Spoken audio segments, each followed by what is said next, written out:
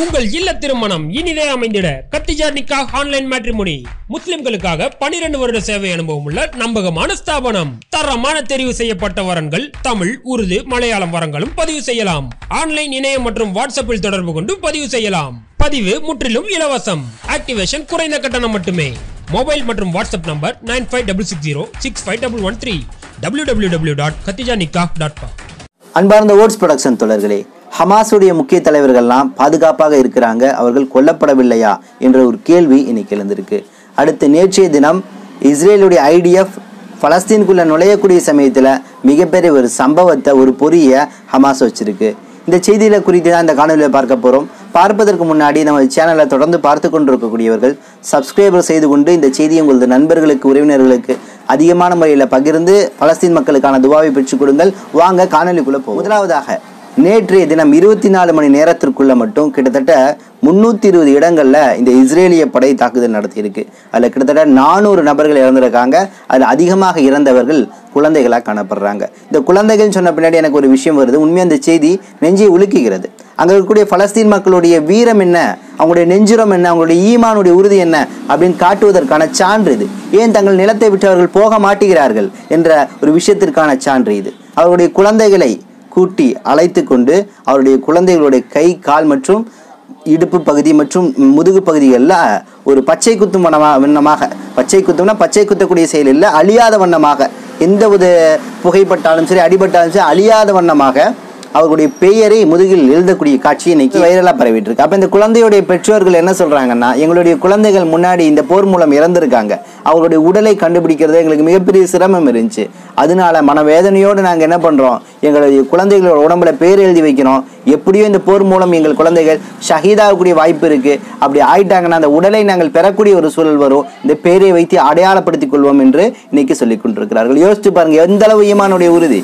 வெளியேறக்கூடியவர்கள் என்னைக்கோ வெளியேறி இருப்பாங்க புறமுகத்துக்கு காட்டி ஓடி இருப்பாங்க ஆனால் அந்த மக்கள் அப்படியே ஓடவில்லை. நெஞ்சிரத்தோடு நின்று ஈமானுடைய உறுதியோடு இன்னைக்கு போராடி கொண்டிருக்கிறார்கள். நேற்று நடந்த அந்த தாக்குதலில் ஜபாலியா என்று சொல்லக்கூடிய ஒரு அகதிகள் முகாம் இங்கே பலாயிரக்கணக்கான பலஸ்தீன் மக்கள் ஒன்றாக இருக்கிறார்கள். உணவு இருப்பிடம் தண்ணீர் என்று கிடைக்காத ஒரு சூழலில் இருக்கிறாங்க.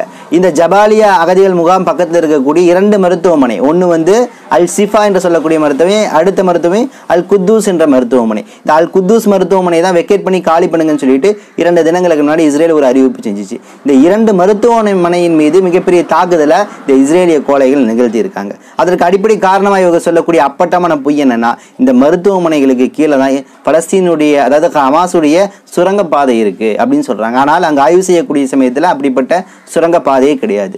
இன்னும் வல்லுநர்கள்லாம் சொல்றாங்க பெரிய கட்டிடங்கள் மற்றும் கட்டுமானங்களுக்கு கீழே சுரங்கப்பாதை எழுப்பவே முடியாது. எழுப்புன்னு அந்த சுரங்கப்பாதை மூடிவிடும். பல்வேறு சமதளமான பகுதிகளில் தான் சுரங்கப்பாதை அமைக்க முடியும் சொல்லிட்டு அவர்கள் சொல்கிறார்கள். அது உண்மையாகவும் இருக்குது ஆனால் இவர்கள் ஒரு போலியான விஷயத்தை சொல்லி இங்கே வந்து ஹமாஸுடைய படை இருக்குது இஸ்லாமிய ஜிஹாதிகள் இருக்குன்னு சொல்லிட்டு அந்த மருத்துவமனையை அந்த சுரங்கப்பாதையை அழிக்கிறோம் அதுக்காக மருத்துவமனையை தாக்குறோங்கிற ஒரு போலியான விஷயத்தை இன்னைக்கு பரப்பி கொண்டிருக்கிறார்கள். இது அப்பட்டமான இன அழிப்புக்கான ஒரு வேலையாக தான் காணப்படுது அப்படிங்கிறது இதன் வாயிலாக நமக்கு தெரியுது. இதில் கூடுதலாக ஒரு விஷயத்தை நம்ம பார்க்கணும். நேற்று நடந்த ஒரு விஷயத்தை பற்றி முதல் பார்த்துருவோம். நேற்று என்ன இருக்குன்னா ஹமாஸ் வடக்கில் இருக்கக்கூடிய இஸ்ரேலிய பகுதியை தாக்கி கொண்டிருக்குது. ஹிஸ்புல்லா தெற்கு பகுதியில் இருக்கக்கூடிய இஸ்ரேலுடைய பகுதிகள் தாக்கப்பட்டு கொண்டிருக்குது. அதே மாதிரி லெபனான் பகுதியில் இருக்கக்கூடிய எல்லையோரமாக இருக்கக்கூடிய இந்த இஸ்ரேலிய மக்கள் வந்து இன்னைக்கு நாலு லட்சம் மக்கள் எல்லாமே அங்கிருந்து வெளியேறி வேறு ஒரு இடத்திற்கு அகதிகளாக இருக்கிறார்கள். கொஞ்சம் யோசிச்சு பார்க்கணும். இந்த பெஞ்சமின் நெத்தனியாக தனது நாட்டு மக்களையே அகதிகளாக மாற்றி இருக்கிறார்கள் மேலும் பலஸ்தீன் மக்களையும் அகதியாக மாற்றி இருக்கிறார்கள் அப்போ அவர் மிகப்பெரிய ஒரு கொடுங்கோன்மையான ஒரு கொடூர மிருகமாகத்தான் இன்னைக்கு பெஞ்சமின் நெத்தனியாகு காணப்பட்டு கொண்டிருக்கிறார். இந்த வேளையில் நேற்று கான்யூனிஸ்ட் பகுதி வழியாக இந்த இஸ்ரேல் படையை சார்ந்தவர்கள் எல்லாமே பலஸ்தீனுக்குள்ளே போய் அங்கே இருக்கக்கூடிய பணைய கைதிகளை மீட்டு வரலாம்னு சொல்லிட்டு முயற்சி பண்ணியிருக்கிறாங்க. இந்த முயற்சி செய்யக்கூடிய வேலையில் அங்கே இருக்கக்கூடிய வெறும் மூணே மூணு ஹமாஸ் படையை சார்ந்தவர்கள் இங்கே ஒரு தாக்குதல் ஏற்படுத்தியிருக்காங்க. இதில் இஸ்ரேலுடைய ஐடிஎஃப் வீரர்களை பின்னடைந்து ஓடக்கூடிய காட்சிகள் நிகழ்ந்திருக்கு. அதில் ஒரு வீரர் இறந்திருக்கிறாரு. மேலும் மெர்கவா டேங்க் வந்து சிதைக்கப்பட்டிருக்குது. மேலும் என்டி டேங்க் மூலம் மிகப்பெரிய ஒரு தாக்குதலை ஏற்படுத்தியிருக்காங்க. அப்போ இதன் மூலம் இஸ்ரேல் படை என்பது மிகப்பெரிய கோழைத்தனமாகவும் வீழ்ச்சி அடைந்த நிலையிலும் காணப்படுது. இந்த போரை பொறுத்த வரைக்கும் உண்மையான ரிசல்ட் என்ன என்னன்னு சொல்லணும்னா இப்போ இந்த இராணுவ படைகளை பொறுத்த வரைக்கும் இன்னைக்கு இஸ்ரேலிய படை ஒரு துரும்பு நிலத்தை கூட கைப்பற்ற முடியல. பின்னடைந்து கொண்டு தான் செல்கிறார்கள்.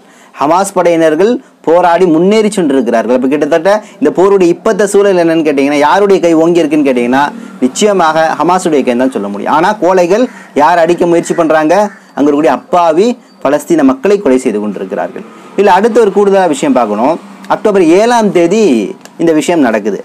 இந்த விஷயம் நடக்கும்போது ஹமாஸுடைய இராணுவ படை பி- இருக்கக்கூடிய இசதுல் அல் கஸ்ஸா வீரர்களுக்கு மட்டும்தான் இது தெரியும். ஆனால் இந்த இன்ஜெக்ஷன் எல்லாமே வெளிநாட்டில் இருக்கக்கூடிய ஹமாஸ் தலைவர்கள்லாம் இன்ஸ்ட்ரக்ஷன் கொடுத்து தான் இது நடந்திருக்கு.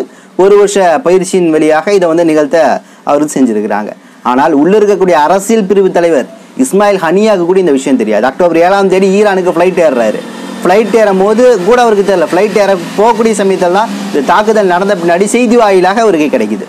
அப்போ கிட்டத்தட்ட எந்தவித ஹமாஸ் தலைவர்களுக்கும் இந்த விஷயம் தெரியாது. இன்னும் கூடுதலாக சொல்லணும்னா இப்போ வரைக்கும் சொல்கிறேன் ஹமாஸுடைய தலைவர்கள் எல்லாமே குவைத்து பக்கத்தில் கூடிய லெபனான் ஈரான் இது போன்ற நாடுகள்ல தான் முன்கூட்டியே இருக்கிறாங்க. அங்கே வந்து அவர்கள் இன்னும் இங்கே வரல அவர்கள் அங்கே தான் இருக்கிறாங்க. ஆனால் இங்கே இஸ்ரேல் படம் ஐடிஎஃப் படம் என்ன சொல்லுது? டெய்லியும் ரெண்டு ரெண்டு வந்து ஹமாஸ் தலைவர்களை நாங்கள் கொன்னுட்டோம். பார்த்தீங்களா டெலீட் பண்ணிட்டோம் எலிமினேட் பண்ணிட்டோம்னு சொல்லிட்டு புகைப்படங்களை வீடியோக்களை விடுறாங்க. ஆனால் ஹமாஸ் தரப்புலேருந்து என்ன சொல்லப்படுது? இன்னும் அவர்கள் மரணிக்கவில்லை. இன்னும் அவர்கள் சாகவில்லை. இவர்கள் போலியாக பரப்பிக் கொண்டிருக்கிறார்கள். ஹமாஸை அழிக்கின்றோம் என்பது போலியான கட்டமைப்பு. பிரிட்டனுடைய ஊடகவியலாளர் சொல்கிறார் ஹமாஸ் தலைவர்களே அங்கே இல்லை. அங்கே யாரை போய் நீ அடிக்கப்பா பார்க்குறப்பா அப்படின்னு கேட்கக்கூடிய சமயத்தில் இந்த ஹமாஸுக்கு ஆதரவாக இருக்கக்கூடிய பொதுமக்களை ஏன்னா இது முன்னாடி நடந்திருக்கு. ஏன்னா அங்கே வந்து தொண்ணூத்தஞ்சு வயசு மதிக்கத்தக்க ஒரு நபர் சேனல் ஃபோருக்கு ஒரு பேட்டி கொடுத்துருக்காரு. இதில் என்ன சொல்கிறாருன்னா எனக்கு தொண்ணூற்றி அஞ்சு வயசு ஆச்சு. ஆயிரத்தி தொள்ளாயிரத்தி நாற்பத்தி ஏழுக்கு முன்னாடிலாம் இந்த இஸ்ரேலுடைய இந்த யூத சக்திகளோடு ஜியோனிஸ்டுகளோடு இணைந்து நானும் பயணித்தேன். பயணிக்கக்கூடிய சமயத்தில் ஒவ்வொரு பலஸ்தீனுடைய வீடுகளையும் சென்று கிராமங்களையும் சென்று அவர்களை கொலை செய்வோம். அப்படி கொலை செய்யக்கூடிய சமயத்தில் அவர்களை தடுக்க யாரும் இல்லாதனால அவர்கள் பயந்து கொண்டு அந்த நிலத்தை விட்டு வெளியேறி விடுவார்கள். இப்படி தான் கொஞ்சம் கொஞ்சமாக நாங்கள் நிலத்தை வந்து கைப்பற்றணும்னு சொல்லிட்டு அந்த தொண்ணூத்தஞ்சு வயது மதிக்கத்தக்க முதியவர் சேனல் ஃபோருக்கு பேட்டி கொடுக்குறார். அப்போ யோசிச்சு பாருங்கள் அதே யுக்தியை தான் இன்றைக்கும் கையில் எடுத்திருக்கிறாங்க. அன்னைக்கு எந்த பாதுகாப்பும் இல்லை. ஆனால் இன்னைக்கு ஹமாஸுங்கிற ஒரு பாதுகாப்பு இருக்குது அதை தாண்டி பல்வேறு நாடுகளுடைய பாதுகாப்பு இருக்குது இப்போ இந்த சூழல்ல தான் இவருடைய இலக்கு என்பது ஹமாஸ் கூட போர் செய்யணுங்கிறது கிடையாது. ஹமாஸ் பெயரால் ஹமாஸ் அழிக்கிறோங்கிற பெயரால் அவங்களுடைய பலஸ்தீன் மக்களை கொன்றொழிக்க வேண்டும். அடுத்து ஹமாஸுடைய ஒரு அறிவுபூர்வமான ஒரு தாக்குதல் வந்து இன்னைக்கு நடந்திருக்கு. அந்த தாக்குதல் மூலம் இன்னைக்கு இஸ்ரேல் கதிகலங்கி இருக்குன்னு சொல்லலாம். ட்ரோன் தாக்குதல் தான். இந்த ட்ரோன் தாக்குதல் நான் முன்னாடி சொன்னேன். முகமது சுஹாரி என்று சொல்லக்கூடிய நபர் தான் இந்த ட்ரோன் தாக்குதல் முறையை கற்றுக் கொடுத்தாரு. அதற்குரிய வழிமுறைகளையும் அதற்குரிய டெக்னாலஜியும் இந்த ஹமாஸ் படைக்கு கற்றுக் கொடுத்தவர் அவர் தான் ரெண்டாயிரத்தி ஆறில் வந்து கொலை செய்யப்படுகிறார் இஸ்ரேலுடைய படையின் மூலமாக. அவருடைய தொழில்நுட்பம் தான் இன்னைக்கு வந்து ஹமாஸ் வந்து கற்றுக்கொண்டு செயல்படுத்தி கொண்டிருக்குன்னு சொல்லியிருக்கேன். இந்த தரைவழி தாக்குதல் தரைவழி தாக்குதலுங்கிறாங்கல்ல இது ஏன் இன்னும் தாமதமாக இருக்குன்னா இதுக்கு பல காரணங்கள் இருக்கு. அமெரிக்கா இப்போதைக்கு வேணாம் எங்களுடைய படைகள் உள்ள வரட்டும் அப்புறம் தாக்குதல் நடத்தலாம்னு சொல்கிறாங்க மேலும் இந்த தாக்குதல் ஒருவேளை நடந்துருச்சு அப்படின்னா இல்லை லாங் டைம் ப்ராசஸ் சக்ஸஸாக இந்த போர் போயிருச்சுன்னா அமெரிக்காவுடைய பொருளாதாரம் வீழ்ச்சி அடைஞ்சிரும். ஆல்ரெடி நாலு வங்கி திவாலாயிருச்சு. முப்பத்தி மூணு ட்ரில்லியன் வந்து கடனாக இருக்குது அப்படிங்கிற ஒரு சூழல். அப்போ இந்த சூழலில் தான் இந்த தரைவழி தாக்குதல் என்பது தாமதமாயிட்டு இருக்கு இந்த சூழலில் தரைவழி தாக்குதலை எதிர்பார்த்து கொண்டிருக்கக்கூடிய இந்த இஸ்ரேலிய படைக்கு ஹமாஸ் நேற்றைய தினம் ஒரு அதிர்ச்சி வைத்தியத்தை கொடுத்துச்சு. என்னென்னா ஆளில்லா விமானம். சின்ன சின்ன ஆளில்லா விமானங்களை அனுப்பி ரெண்டு மூணு விமானங்களை அனுப்பி அங்கே வந்து சில குண்டுகளை போட்டதான ஒரு ரிசல்ட்டும் இன்னைக்கு கிடைத்து கொண்டிருக்குது. அப்போ இது அவங்களே ஒத்துக்கிறாங்க ஐடிஎஃப் வீரர்களே.